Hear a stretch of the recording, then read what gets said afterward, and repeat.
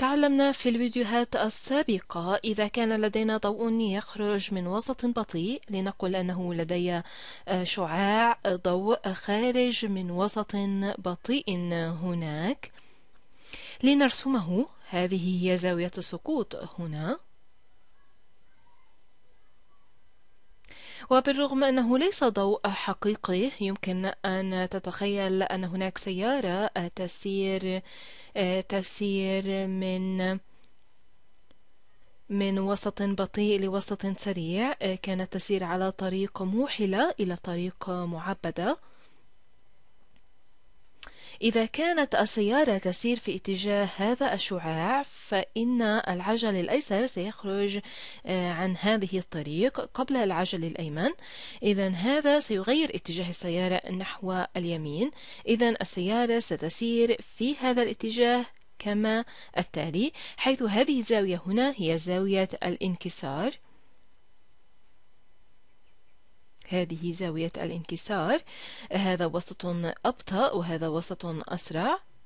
إذا ستكون ثيتا اثنان أكبر من ثيتا واحد. ما أريد معرفته أو الذي أريد إيجاده في هذا الفيديو؟ هو هل هناك زاوية معينة تعتمد على المادتين التي يسير فيهما الضوء؟ إذا كانت هذه الزاوية كبيرة بشكل كاف لا نعلم. هذه الزاوية هي أكبر دائما من هذه الزاوية حيث أن زاوية الانكسار هي دائما أكبر من زاوية السقوط عندما تسير من وسط بطيء إلى وسط أسرع. هل هناك زاوية معينة إذا افترضناها؟ هنا. إذا افترضناها هنا هذه الزاوية لنسميها ثيتا ثلاثة. إذا كان هناك زاوية ثيتا ثلاثة حيث تكون كبيرة بشكل كافي حيث زاوية الانكسار ستكون 90 درجة حيث الضوء عمليا لن ينفذ إلى الوسط السريع. وإذا كان لدي زاوية سقوط إذا كان لدي زاوية سقوط أكبر من ثيتا ثلاثة. أيا كان ذلك عمليا الضوء لن يسير على طول السطح. بكل تأكيد لن ينفذ حتى أنه لن يسير على السطح عمليا سوف ينعكس مرة أخرى. إذا في الواقع لدينا انعكاس داخلي كامل. لفهم هذا يجب أن نفهم ما هي زاوية ثيتا ثلاثة. هل زاوية الانكسار التي لدينا هي تسعون درجة؟ هل لدينا زاوية انكسار 90 درجة؟ هذه زاوية زاوية السقوط هذه سوف تسمى الزاوية الحرجة. لأنه إذا كان لدينا أي شيء أكبر من ذلك لن يكون هناك انكسار. عمليا لن يحدث هناك نفاذ للوسط الآخر بل سوف يعكسه على الفاصل مرة أخرى إلى الوسط البطيء. لنحاول فهم ذلك. وسنطرح مثال حقيقي على ذلك. لنفرض لدينا ماء. هذا الماء هذا الماء له معامل انكسار. معامل انكسار يساوي واحد فاصلة ثلاث وثلاثون بالمئة. ولدينا هواء في الأعلى هنا. والهواء ضئيل جدا قريب من الفراغ. ومعامل الانكسار له هو واحد فاصلة صفر صفر صفر اثنان تسعة. وللتبسيط نفرض أن معامل الانكسار هو واحد فاصلة صفر صفر. وما أريد عمله هنا آه، لضوء الخارج من الماء آه، لنغير اللون آه، للضوء الخارج من الماء لضوء الخارج من الماء. سأجد زاوية حرجة سأسميها ثيتا الحرجة. سأسمي هذه الزاوية ثيتا الحرجة ثيتا critical ثيتا. حيث زاوية الانكسار هي 90 درجة حيث لم آه، ينفذ الضوء من خلالها.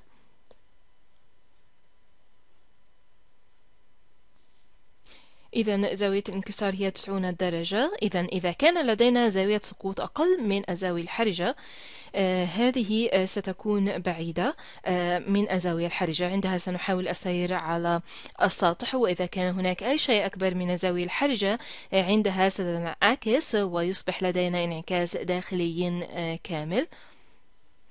لنفكر ما هي ثيتا هذه. هذه الزاوية الحرجة ممكن أن تكون. حسنا سأخرج عن قانون سنيل مرة أخرى. لدينا معامل الانكسار للماء هنا. يساوي واحد فاصلة ثلاث وثلاثون بالمئة. ضرب جيب الزاوية الحرجة. ضرب sine ثيتا. ستكون مساوية لمعامل الهواء. هذا يساوي آه، معامل الهواء وهو يساوي واحد آه، فاصلة صفر صفر آه، ضرب جيب زاوية الانكسار وهي تسعون درجة. والآن ما هو جيب الزاوية 90 لمعرفة هذا؟ يجب أن تفكر في الدائرة كوحدة واحدة. لا نستطيع معرفتها تلقائيا. لهذا تعريف وحدة الدائرة مهم ومفيد. فكر في دائرة الوحدة.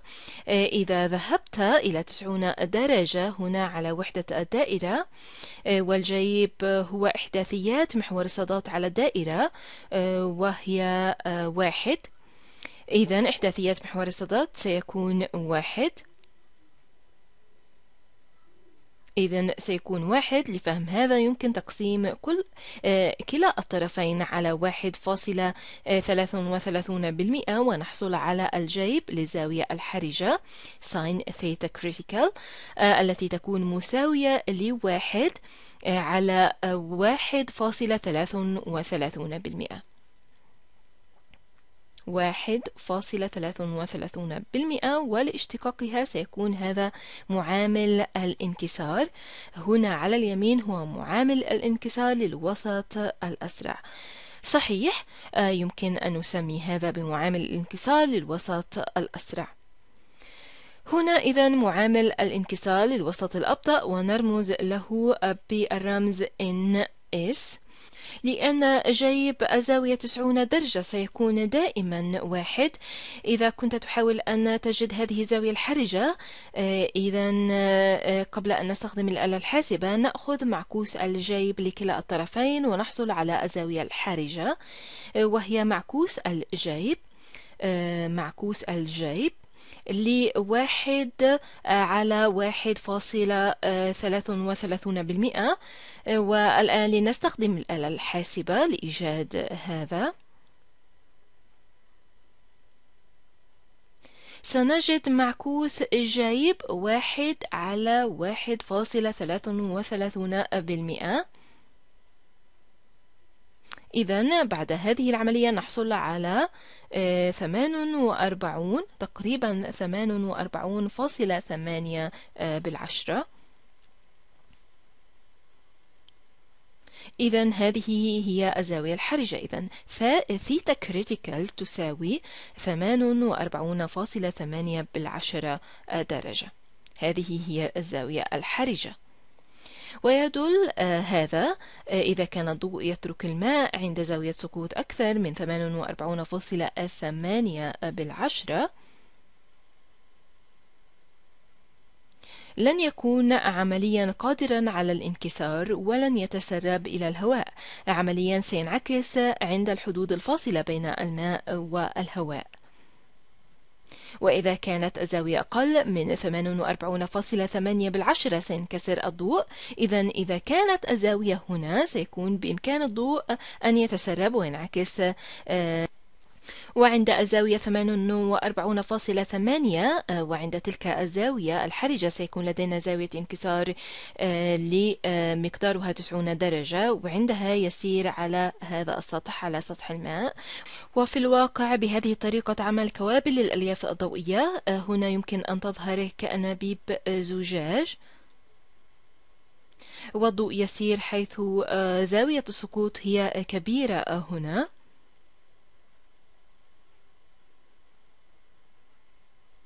بحيث أن الضوء يستمر بالانعكاس داخل الليف الضوئي. إذا هذا هو شعاع الضوء. إذا سار بزاوية أكبر من زاوية السقوط عندها بدلا من التسرب إلى الهواء المحيط أو أيا كان سيستمر بالانعكاس داخل أنبوب الزجاج. ويسمح للمعلومات الضوئية أن تسير. أتمنى أنكم وجدتم هذا مهم ومنطقي.